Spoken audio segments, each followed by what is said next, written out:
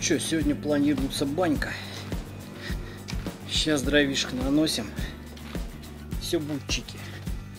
А я расскажу вам о том, как я лично сам принимаю баню. И какие я нашел интересные решения э, в этой замечательной процедуре.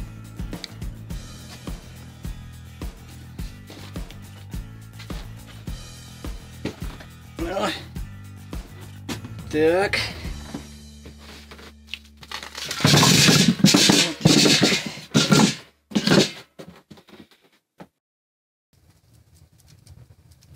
Ну что, вот я только что затопил баню, печка горит, э, пламя шумит, все готовится. Через час, я думаю, будет готово. А сейчас я вам расскажу о тех особенностях, которые придумал я для бани. Баню я принимаю очень часто. Э, за неделю бывает, ну, раза два, а то может и три, а иногда бывает и чаще. Причем вот сейчас лето стоит и вроде бы жарко, баню принимаю все равно точно так же. А, то есть очень часто. Мне это дело нравится, вот, и считаю эту процедуру полезной очень, так как она выгоняет шлаки все. Ну, что мне для рассказывать о том, вам всем, э, какая польза есть от, от бани. Но есть нюанс. Некоторые любят баню очень горячую, когда прям вообще там жарко, там волосы трещат, там кожа лопается буквально там, да, там уши надо сам закрывать, шапку надевать и все. Я такую баню тоже иногда люблю, но постоянно принимать ее это тяжело. Э, такую горячую баню принимать постоянно тяжело. И не нужно, в общем-то, на самом деле. А, потому что все зависит от того, какие преследуются цели. Вот я преследую цель какую? Это действительно пропотеть, чтобы выгнать из организма лишние э, э, шлаки. А также связки прогреть и мышцы. Так вот, когда баня раскаленная, как это не парадоксально, но связки мышцы прогреваются хуже весь накал остается на поверхности кожи. Может, и потеешь больше, и рефлекторно идет э, сильное воздействие с э, сильным выбросом эндорфинов, энкефалинов именно с, э, с кожи. Вот, э, то есть почему кайф испытывают люди, да, когда еще венчиком, да, похлещутся и все такое прочее. Именно а, от раздражения кожи и термального, и механического. То есть и термического, и механического. Вот. Но э, это не самый главный для меня. То есть э, для меня более важно то, что я тренируюсь постоянно каждый день. И у меня надо снять э, так, излишний тонус э, с мышц, э, связки расслабить. И ну, под погонять. Правда, надо солевой восстанавливать обмен потом, да, это все как бы понятно. То есть излишнюю воду выгонять и пить, э, это чревато тем, что может соли выгнать, но я про это сейчас говорить не буду. И вот я к такому выводу пришел, что очень горячую мне баню принимать э, для тех задач, которые нужны мне, особого смысла нет. И самая лучшая температура от 50 до 60 градусов. Баня у меня э, ну, русская, то есть эм, это парная. Вот, э, то есть можно на камушки поддать. Вот там камни есть. И вот видите, вот это бак. В этом баке находится вода. Э, она разогревается до кипятка практически. И вот здесь, здесь кран, это чтобы можно было эту воду слить потом, ну, если помыться, там, все такое прочее. Так вот, суть э, в чем этого бака? Он является большой еще дополнительной, э, ну, батареей, что ли. А главное то, что на камни поддавать-то, в принципе, не надо. Дело в том, что когда вода доведена почти до кипения, то, э, ну, влажности э, в помещении в этом, она практически 100%, потому что оттуда, вот там крышка на баке есть, но там есть, она не герметичная, ну, значит, взорвался бы бак, и идет испарение, то есть э, идет испарение воды постоянно, поэтому здесь э, очень большое количество пара, его нету, конечно, самки клубами, но в воздухе очень много водяного пара, и поэтому температура э, и эта влажность, то есть э, при температуре 60 градусов э, здесь влажность очень высокая, и э, поэтому потеешь э, довольно сильно. Но я еще придумал одну вещь, натолкнулся я на нее, ну не случайно, со специально, конечно, но, но интересно получилось.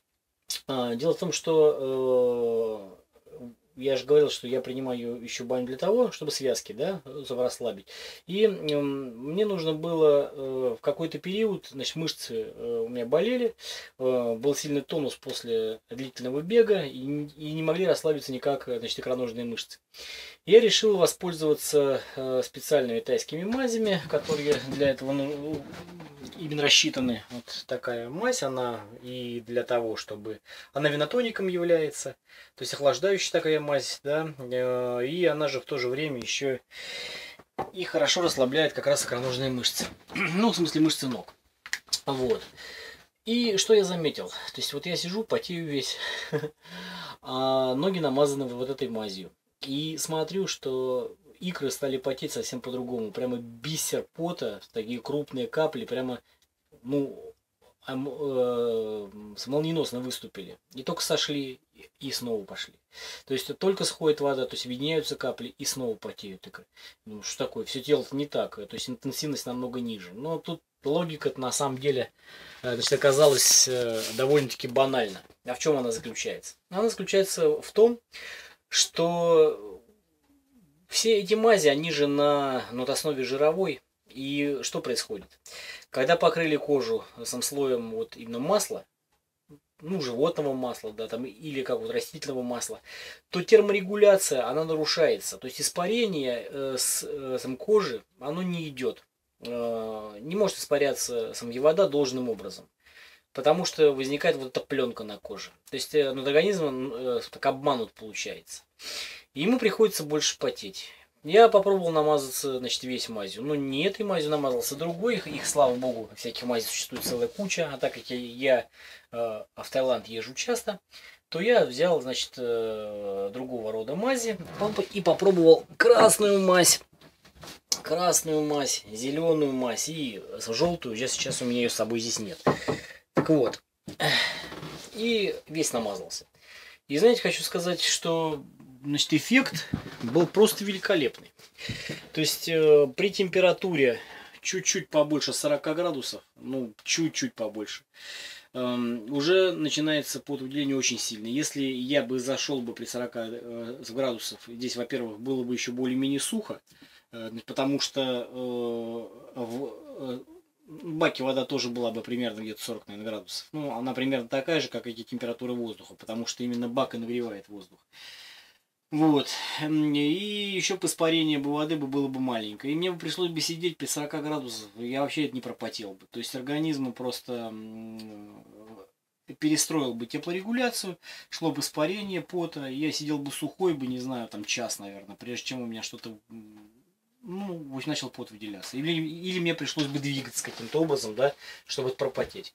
А при 50 градусах тоже приходится сидеть там 20 минут или полчаса, чтобы наконец-то потекло. Но стоит только намазаться, все, при 50, при 40, тут же в течение первых трех минут начинается потоотделение просто колоссальное вообще.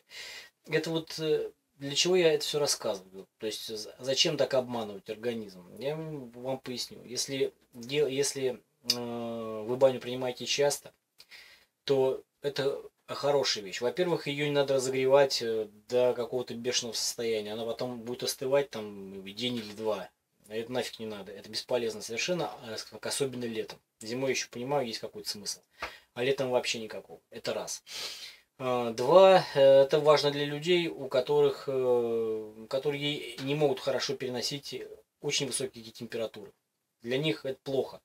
А здесь не надо очень высокую температуру. Надо, чтобы просто было жарко, чтобы было очень тепло. Вы намазались, все, с вас просто потекло. И, значит, эффект от того, что вы пропотеваете, точно такой же, как если бы вы сидели в раскаленной бане. То есть пот выделяется точно так же, а значит и э, шлаки все выходят. И получается, что все работает. Вот. В таком ключе э, вы тратите гораздо меньше времени. То есть э, не надо э, тратить на баню 2 часа. Достаточно часа или даже получаса. Два раза по 15 минут заходите, вы намазались, все. А главное еще э, ну, использовать, э, ну, важно понимать, что вы за мазь используете. Если как в э, ситуации моей вы значит, используете специальные мази, которые э, ну, расслабляющие э, для мышц, вот, то вы еще и дополнительно лечебную процедуру делаете хорошую, просто великолепную. То есть э, вот не просто для вас баня, там, когда вы просто пропотели, подышали горячим воздухом, вот, э, и просто прогрелись. А вы еще и хорошо пропотели. Ой, вы еще и пролечились именно медикаментозно. То есть, э, применив вот это медикаментозные наружные средства. Вот.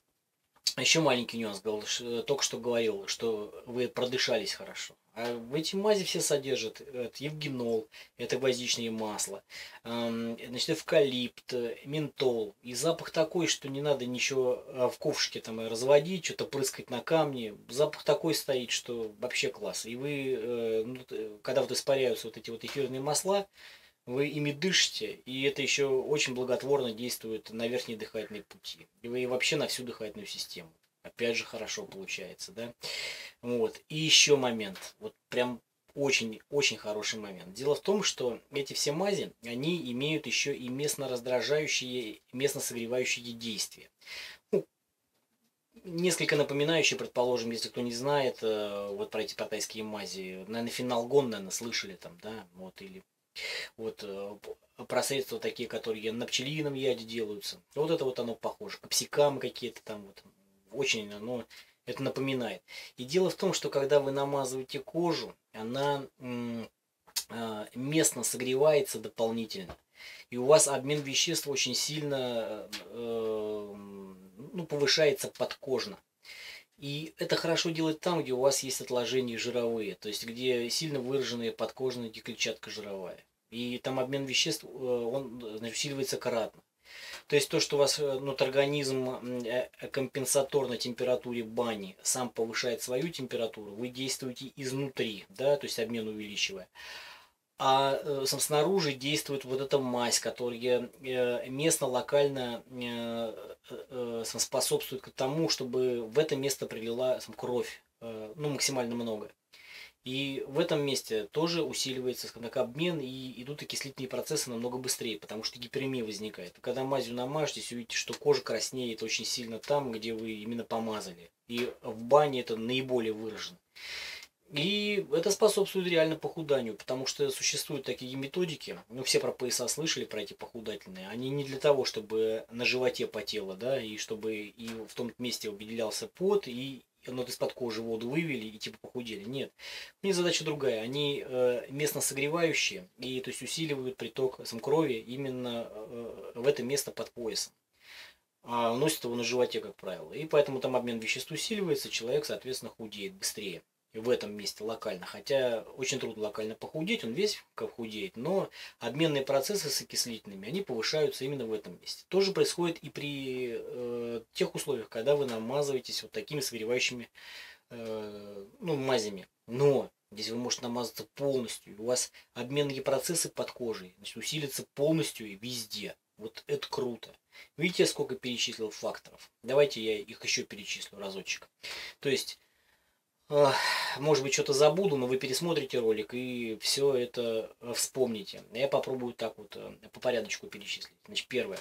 Это не нужно долго принимать, да, а, саму баню, потому что э, терморегуляция перенастраивается просто молниеносно, и потовыделение начинается очень быстро. Это раз. Два, значит, не нужно очень сильно разогревать баню, потому что уже при низких температурах уже начинается потоотделение. Это важно для тех, кто не переносит высокую температуру или принимает баню очень часто и э, вот, чтобы не перегружать себя высокими температурами, вот это нормально. Дальше, вы дышите, то есть ингалируете, э, ингалируетесь вот этими вот ментоловыми, ментоловыми, то есть эвкалиптовыми, э, гвоздичными и прочими, эфирными маслами, которые находятся Э, в мазях. Вы повышаете основной ну, обмен, э, и вы повышаете значит, обмен под кожей, потому что вызываете локальную гиперемию кожи. Ну вот, э, это коротко, если все остальные вещи, они, они вытекают из этих. Так что вот я хотел с вами поделиться своим секретом. Мне он очень, честно говоря, нравится, помогает.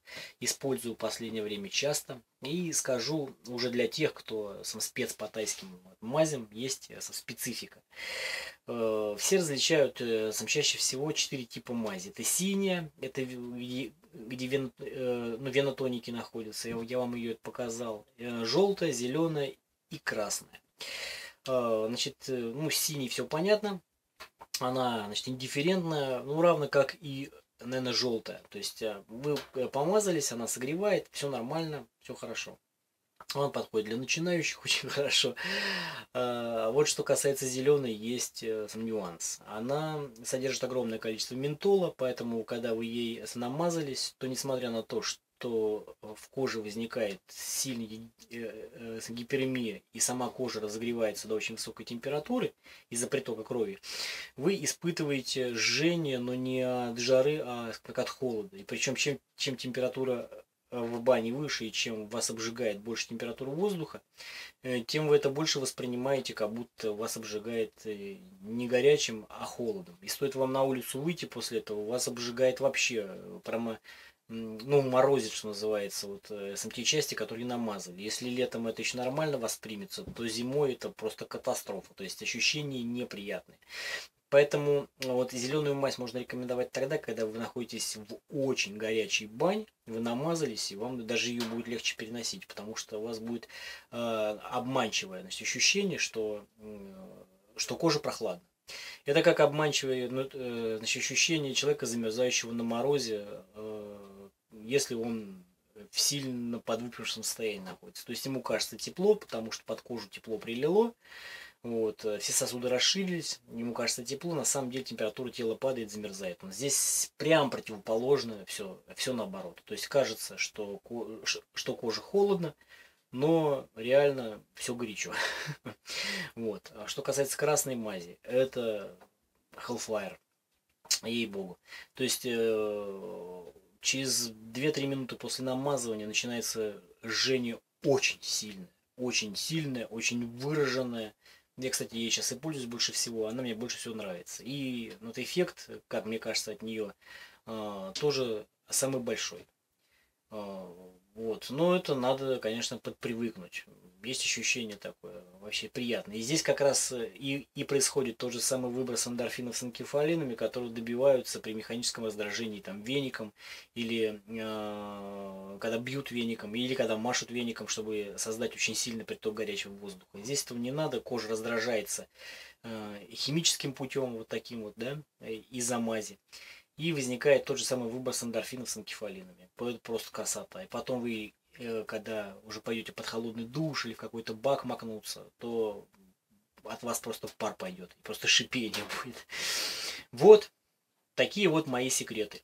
Расскажу потом, может быть, еще что-нибудь. А сейчас какое-то время пройдет, я еще дровишки подкину и пойду париться. Удачи, друзья! Советую вам тоже воспользоваться моими методами. Может, вам что-то э, кажется полезным и что-то понравится. Удачи! Салют!